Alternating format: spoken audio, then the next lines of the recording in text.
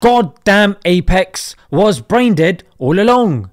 Suicide bomber. Another guy goes terrorists. Now hang on a minute right there. The religion or the theology that is responsible for the most deaths in that period. Number one is Christianity with a whopping 178 million. All right, so this is a video from the YouTube channel Smile to Jannah. I'm going to try to be as fair and objective as possible. If I fail, let me know in the comment section. Let's get started. Assalamu alaikum guys and welcome to another episode of Smile to Jannah. FaZe Clan is a fraternity of gamers who have followers in their millions. They have transcended the YouTube scene. My son on there with uh, you know, the football player in Arizona as well as well, Kyler Murray and, and the whole FaZe clan is what they call them and and have even now become a public company. FaZe Clan is going to become a public company. It's gonna be on Wall Street, guys. Now, I'm not here as a spokesperson for the FaZe Clan, but what I wanted to talk to you about is one of their founders called FaZe Apex. A couple of days ago, here's what he posted on his Instagram. Standing in front of the holy Kaaba, in the holiest city for the Muslims, he wrote, No blessing in life compares to the blessing of being a Muslim. Nothing gives you more peace and purpose in this world. Inshallah, God willing, we will be reunited together in the next life in the highest levels of paradise. I highly encourage anyone who has any interest or feels like they are missing a purpose in life to look into Islam. May God guide us all to the best for us in this life and the next. As I was scrolling down, I did see some positive comments by atheists. Not a believer, but I gotta respect your commitment. I'm glad to see you doing what you love. Well, as an atheist myself, I don't respect anything. I don't respect any religion. Um, and I don't want to celebrate people celebrating um, an ideology that is harmful and superstitious and ignorant. But at the same time, my first feelings is like uh, noticing somebody being happy and i have this desire to see people happy like i enjoy seeing other people enjoying life and even so i mean this is a contradiction but you know our feelings are not supposed to not contradict with each other, right? Like the fact that somebody is enjoying something and is bringing them peace and happiness to their lives. I mean, when you experience them experiencing that, if you enjoy seeing other people happy, that brings joy to you. You witnessing them, you know, um, enjoying life brings joy to your life. Okay. Um, but at the same time, also the thing that they're enjoying is maybe for them, it's not causing them to bring harm into this world, but them celebrating that ideology is giving legitimacy and to an ideology that overall is a net negative. So how do I deal with this contradiction? I don't. It is a contradiction in my mind and I just let it stay there. I don't have to resolve it that's how I uh, that's how I look at it. I don't know. What do you think about it? Personally, not religious myself, but that looks extraordinarily beautiful. Peace to y'all. I mean, they are beautiful. If your atheism is making you think that you have to deny the beauty of mosques, churches, temples, or whatever synagogues, then you are being dogmatic with your anti theism. Um, but at the same time, the beauty of the buildings doesn't really uh, mean anything about doesn't any doesn't have any influence on the judgment we have on the religion.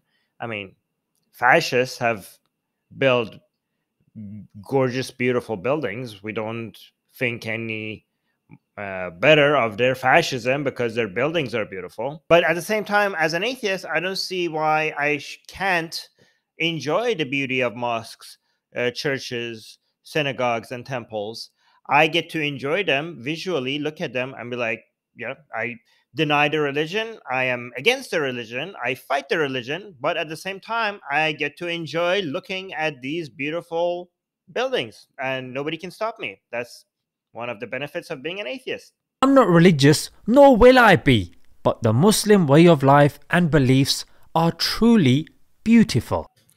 I mean, if the Muslim way of life involved um, just visiting beautiful buildings and doing circles around them, then I would agree with you. Um, however, what you're seeing right now is not the only thing that is the Muslim way of life. Okay. If you read the entirety of the Muslim way of life, you might have a different conclusion. Then we had some positive Christian comments as well. One of them goes, I'm Catholic, but I find this to be very beautiful and peaceful. Peace to all the Muslims. That's very nice. I want peace for Muslims as well, which is why I fight Islam. As a Catholic, I'm happy you found your calling, Apex. I'm glad you're happy in life because that's all that matters, man. Faze up, bro, and keep being you. I, I agree. As a utilitarian, I agree with this. Um, happiness, finding happiness, is the only thing that matters. Uh, it's weird that a Christian and a Muslim here seems to be seem to be agreeing with this. However, happiness for who? Not just for one this one individual. Happiness for the highest number of people, right? So Islam finding hap- making this person happy, it would have been in isolation. That's pretty good. But the net, what matters is the net effect of Islam. Okay, so that's what you, if you want to judge Islam, Christianity, Judaism, or any other uh, set of ideas, you have to see whether the net effect makes people as a whole in the world throughout time more or less happy. Is it making people's lives better? Is it increasing well being? Or is it robbing people of potential happiness? I bet the latter. That's why I stand against it. I stand against Islam. But I appreciate that the goal here is to maximize happiness. I'm Christian, but damn, that seems like such a vibe being there. I can't object here. I'm pretty sure it would be awesome to be there. I wish I could go there. They don't let me there because I'm not a Muslim. However, one day I'm I I think one day we will have everybody would be allowed there and we would have a gay pride parade around the Kaaba. That will one day happen. However, I know that not everybody's experience is a positive vibe around the Kaaba. Um, there are a lot of reports of women being molested while they're doing the Hajj. So, yeah. Of course, some Christians uh, looked for an opportunity to preach. Why? Why? One goes, I love Apex, but Jesus Christ is the only way into the next life. I mean, I don't see what your issue with this is. Your entire channel is dedicated to invite people to Islam. If somebody was enjoying going to a church and they communicated that with you, and somebody was like, okay, that's nice and all, but that's not the way to paradise. Uh, Islam is the way to paradise. I don't. Would you object there? Um, I mean, technically, if Christianity is true, the the moral thing to do would be to remind people, like, yeah, this is not the way to heaven. Like, you would like, wouldn't the most moral thing to do be to try to save people from hellfire? I mean, I think like as a Muslim, you would see how this would be the moral thing to do if it was the other way around. So I don't see what the objection here is. Another one goes, Jesus is the only way. Another one goes, Jesus is king. So much proof. Yeah, it's just, I mean, it's so convincing. I mean, it's as convincing as the original post. You didn't object there when the original post was talking about Islam being the way. There were no proof offered then. So how come you're how come you didn't say anything to the original post and now you're saying it here? There's a there's a double standard. I'm noticing, I'm detecting a double standard here. Now, I'm pretty sure the Kaaba gets covered in RE, yeah, religious education. But some people recognize it from Fortnite. One guy goes, he found the Fortnite cube. And someone goes, hey yo, it's Kevin the Cube from Fortnite. I mean, I think the most concerning thing here is you still playing Fortnite. I mean, does anybody still do that? I mean, a lot of Muslims probably play Fortnite and they're not going to appreciate your response. Why couldn't you just accept the joke? It was a it was an okay joke. Your comeback was not as strong as the original joke. I think it would have been better if you just were like, okay, I, that's funny.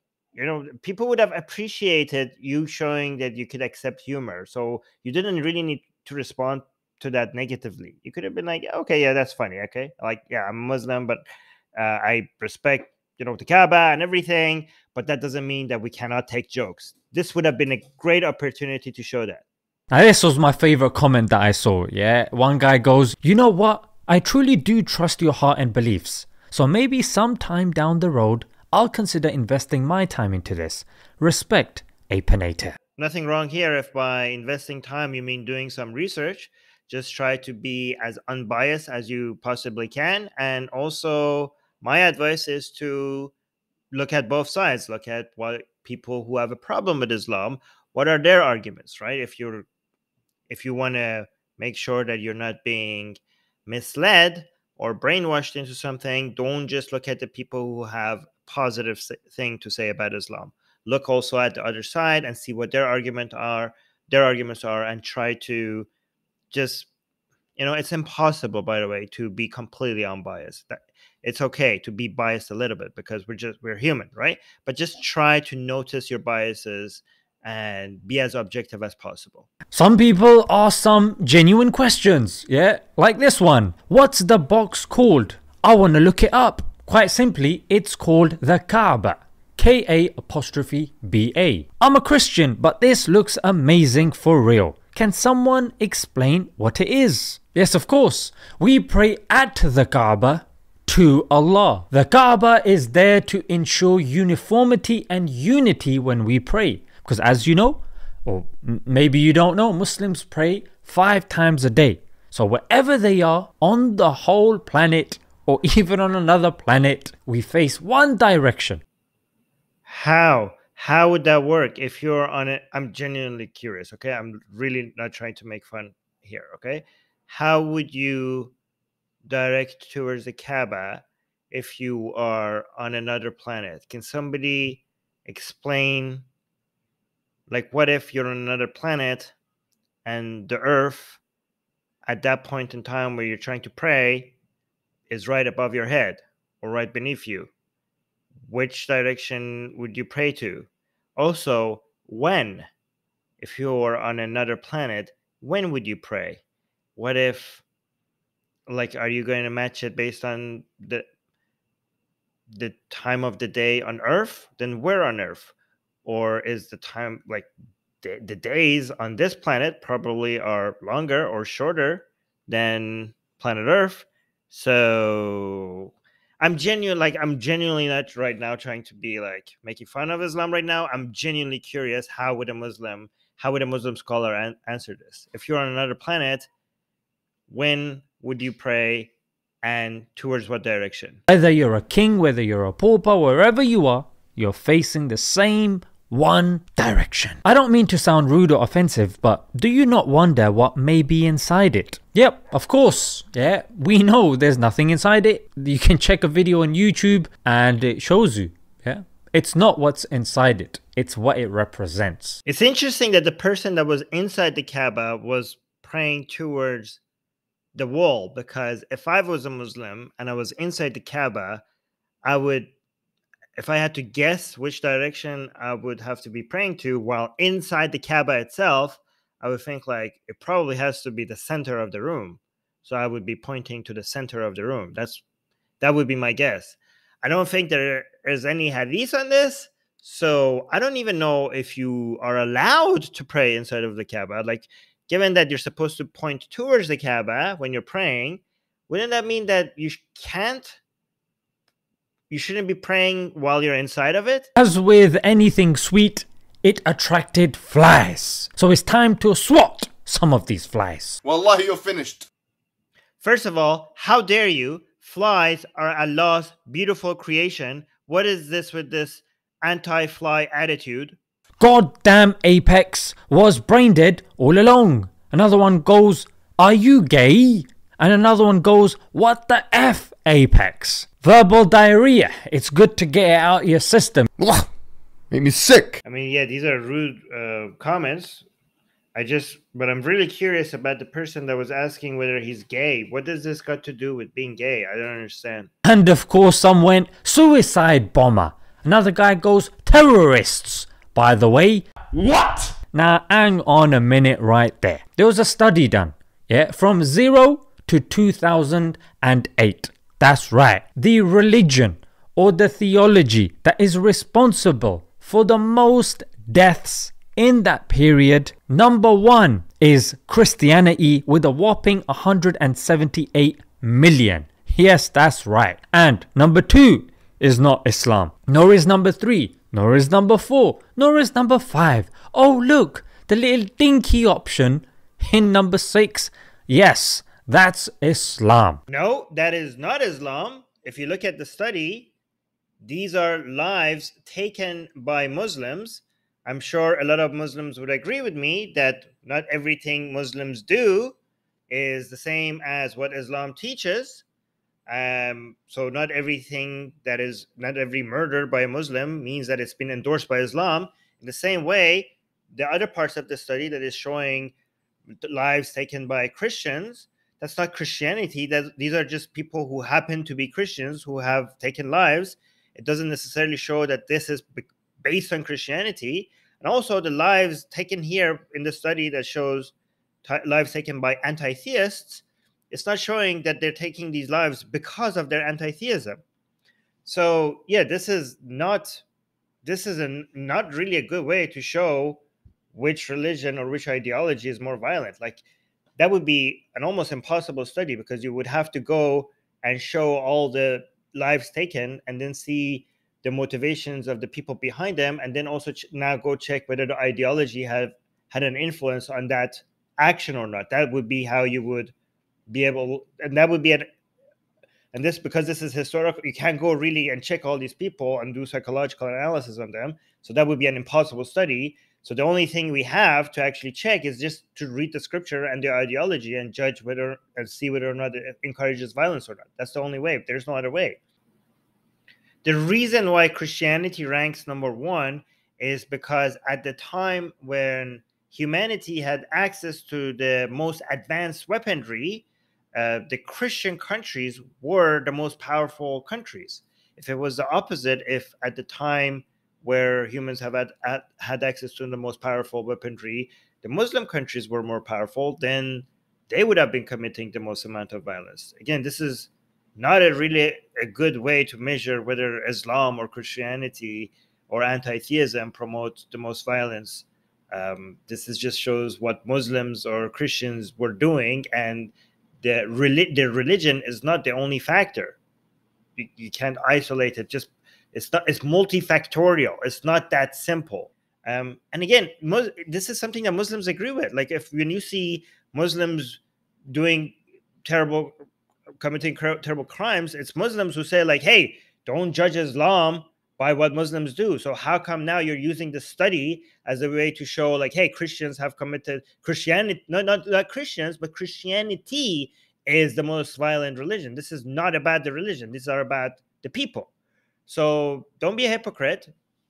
Maintain the same standards. Okay. If we can't judge Islam by the action of actions of Muslims, then we can't judge Christianity by the actions of Christians, and we can't judge anti-theism by actions of anti-theists. The comment itself, calling the man a terrorist or a suicide bomber, is a horrible comment. You don't have to go and like show which religion is the worst religion or which ideology is the most harmful one to be able to identify that this man is a douchebag. He's just looking at a Muslim and be like, "Hey, terrorist or suicide bombing." This is like obviously a, a horrible com- a horrible way. You're doing guilt by association, right? um, like I am somebody who's anti-Islam, an anti-Islam activist, but Muslims themselves are the vast majority of them are decent people, and the the violent ones are the fringe. So my problem is with the ideology, not the people. Any decent human being would never make a general judgment on any large group of people, whether they're being Muslims, Christians, atheists, or any ethnicity or any nationality. Like you could just identify the bigotry because this is guilt by association and generalizing an entire group of people. You could just point that. You can't, you don't have to turn this or like, no, it's not Islam that is the most violent, it's Christianity that is most violent. You just missed the point. You're like, this was such an easy attack on this person that was being a bigot and you turned it into a competition over whose religion is more violent. By the way, I don't know how good the study is. It might be a good study, but it doesn't really come across as objective when it starts with Bismillah ar-Rahman rahim in the name of Allah, and it has a decorative uh, Quranic verse at the very top. Yeah, I don't. That's not a good look. And let's not forget the 2008 report by MI5 that confirmed that the Muslim extremists don't know their religion properly and they don't practice it either. No, really? I mean, this is true for all Muslims, not just the extremists. Come on. Let's look at a study by Dr. Robert Pape, who says before 2003 in Iraq, there were no suicide attacks. Exactly, mate, before 2003. Only when the US entered Iraq, that's when we had the suicide attacks. Yeah, because religion or Islam is not the only factor. It, it's a factor. It's a contributing factor, but it's not the only factor. You need other factors like poverty or desperate conditions, but Islam adds to that. Okay, but if you take out the other factors, it's not going to be enough. And if you take out Islam in certain conditions, those other factors are not going to be enough. You need to add them together. The point that people are making about Islam being a factor in violence, that it, it contributes to it. They don't claim that you only need Islam to get violence. I mean, to be fair, though, some people do, and that's too simplistic. But both sides are are being too simplistic when they try to make everything um, you know correlated to only one factor. You know, most things in life are multifactorial, but that takes you know a lot more nuanced discussions that whether or not Islam by itself does or does not cause violence. Okay, like people people want to simplify things, and usually life doesn't work like that. Guess what? Some more flies, yeah? LOL, it's literally a box. Well, what do you know? It seems Einstein has finally cracked the code. Well, ha- has he cracked the code? Because it's not technically a box; it's box shaped. Am I missing something here? Touch the stone, nothing happens. Touch Jesus, you get healed. Amen. Just hold on to your amen, yeah? Isn't Jesus supposed to touch you, mate, not the other way around? I do not know how this works, but Jesus, if you're watching, I do not consent to you touching me. Walking around a box isn't getting you to heaven, nor will sitting on Instagram watching gamers. But inherently, you're right, walking around the Kaaba won't get you into heaven. But walking around it should inspire change, which should inspire you to do good, which should make it easier for you to get to heaven. Okay, I'm gonna I'm gonna try to be positive here. I as an atheist, I don't think that's gonna help you get into heaven, but it's good cardio. There, see, see I can I can be positive. Alright, guys, uh, let's leave it there. Respect to my bro Apex and all the other brothers that are, mashallah, making this change and introspecting because it's only when you take time out and really introspect, look into yourself. The Quran invites you, wafi anfusikum. Yeah, look into yourselves, and yes, you will find the truth. Yeah, that's pretty good advice. If you want to make sure that you're getting both sides on this introspecting journey, make sure you subscribe, hit the bell notification. I will give you the other side. Also, leave a comment. Let me know what you think about what I said. I will read the comments so that your comments will help me do better in future review videos. I will keep doing these review videos. Okay, I'm gonna keep looking at da'wah videos uh, from Islamic channels and I'm going to be reviewing them here. So if you like that, make sure you are subscribed. Make sure you're subscribed to this channel and make sure you leave a comment to help me become more productive and do better. If you think I did well, let me know I did well. So, you know, that feedback always helps me. But also if you think I did I said something that was incorrect or not objective, uh just let me know so I could like do better, right? So I, I honestly like do read the comments and they do really help me. So please let me know what I did wrong. And also, thank you so much for watching all the way through. This has been a secular jihadist video. You watching these videos make helps the channel grow, but also your likes, your comments, that also helps the channel grow. So I appreciate all of that. Till next time.